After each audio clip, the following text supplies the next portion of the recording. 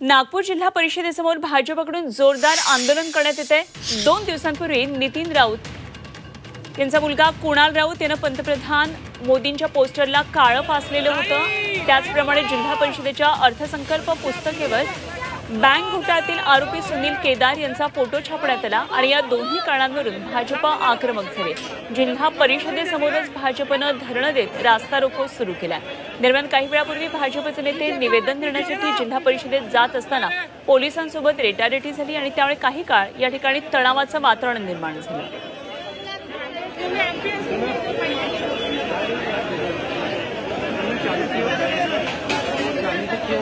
नागपूर जिल्हा परिषदेसमोरची ही दृश्य आहेत भाजपकडून जोरदार आंदोलन करण्यात येत आहे. आमचे प्रतिनिधी अमर काणे आपल्याबरोबर जोडले जात आहेत. अमर जिल्हा परिषदेसमोर जोरदार आंदोलनं भाजपची सुरू आहेत काय काय नेमक्या या ठिकाणी सध्या वातावरण नेमकं काय?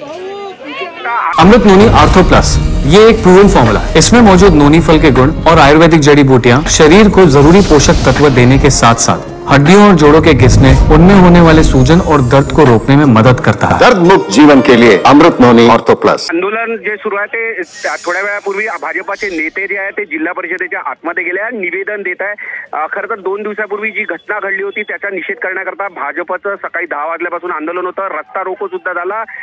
प्रतिकात्मक पुतळा सुद्धा काँग्रेसच्या नेत्यांचा जाळण्यात आला. त्यानंतर आता भाजपाचे जे नेते आहेत ते जिल्हा परिषदेमध्ये आतमध्ये गेले आहे आणि एक निवेदन दिले आहे ज्यांनी ही कृती केली पंतप्रधान मोदी यांच्या प्रतिमेला यांच्या फोटोला जे काळं फासलं त्याच्या निषेधार्थ त्यांनी एक निवेदन दिलं आणि त्यांच्यावर कडक कारवाई करावी अशी मागणी सुद्धा केलेली आहे. खास करून आशिष देशमुख यांचा रोग जो होता ते या संपूर्ण घटनेमागे सावनेरचे आमदार म्हणजे सुनील केदार असल्याचा त्यांचा आरोप होता आणि या प्रकरणी काल कुणाल राऊत जे युवक काँग्रेसचे अध्यक्ष आहेत त्यांना सुद्धा अटक करण्यात आली आहे. एकूणच भाजपाने ग्रामीण भागावर आपलं लक्ष केंद्रित करताना तीव्र असं हे संपूर्ण आंदोलन केलं. आणि आता थोड्या वेळापूर्वी जेव्हा भाजपाचे नेते जिल्हा परिषदेत जात होते तेव्हा काही कार्यकर्त्यांनी सुद्धा आतमध्ये जाण्याचा प्रयत्न केला. तेव्हा पोलिसांसोबत त्यांची रेटारेटी पण झाली पण पोलिसांनी लगेचच संपूर्ण परिस्थिती नियंत्रणात आली आणि त्यानंतर हे सर्व नेते निवेदन देण्याकरता आतमध्ये जिल्हा परिषदेत गेलेले आहे. ठीक.